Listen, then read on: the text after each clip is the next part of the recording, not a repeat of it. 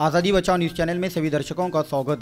सोलापुर शहर नगर सेवक महेश कोटे समेत 15 नगर सेवक करेंगे राष्ट्रवादी पार्टी में प्रवेश। आने वाले मंगलवार को पुणे में एनसीपी के अध्यक्ष व सांसद शरद पवार उप मुख्यमंत्री अजित पवार की उपस्थिति में महेश कोटे को लेकर बैठक होनी है। कांग्रेस पार्टी छोड़ शिवसेना प्रवेश कर सोलापुर महापालिका में अपनी ताकत दिखाते हुए शिवसेना को बड़ी मजबूती देने के बाद दो हज़ार उन्नीस के विधानसभा इलेक्शन में सीट न मिलने ऐसी नाराज़ होकर राष्ट्रवादी की घड़ी अपने हाथों में बांधने का निर्णय लिया था। लेकिन राज्य में महाविकास आघाड़ी, शिवसेना, राष्ट्रवादी और कांग्रेस की सरकार रहने से उनकी राष्ट्रवादी पार्टी में जाने के लिए ब्रेक लगा था। शिवसेना के पक्ष प्रमुख व मुख्यमंत्री उद्धव ठाकरे ने महेश कोटे को फिर से विचार करने का समय भी दिया था। इस बीच मंत्री एकनाथ शिंदे के साथ चर्चा भी की गई। महेश कोटे शिवसेना को छोड़ राष्ट्रवादी पार्टी में जाने का मन बना लिया है। इसलिए पुणे में मंगलवार को होने वाली बैठक में ही अंतिम निर्णय लिया जाएगा।